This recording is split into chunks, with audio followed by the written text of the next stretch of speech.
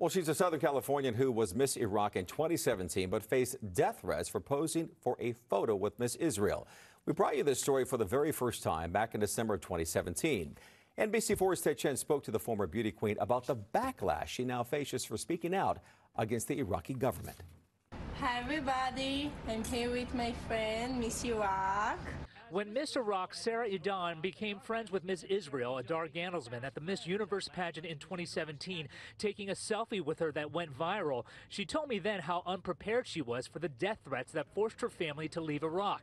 Today, she told me how shocked she was when things got worse. When they refer to Jews as monkeys, as pigs, and they say they are not humans, that's when I realized, okay, there's a problem. It transformed her from pageant contestant to political activist.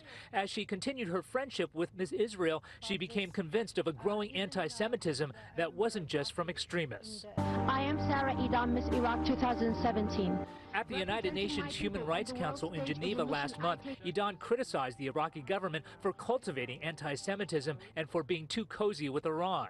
It's deeply rooted in the belief system taught in Muslim countries, which are anti-Semitic.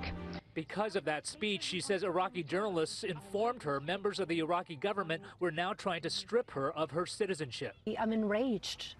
I'm angry, and I'm going to fight for it. I'm not going to let these people uh, try to erase who I am. We called the Iraqi consulate in Los Angeles about Idan, but were unable to reach anyone. Idan says she's also asking the Trump administration for help and support, but she says she's not going to stop. I will always be the voice of the Iraqi people and a voice for reason and for peace. Every time I said something, it seemed to either anger people or make them very or make them very happy. Any regrets? And no, not a single regret. Ted Chen, NBC4 News.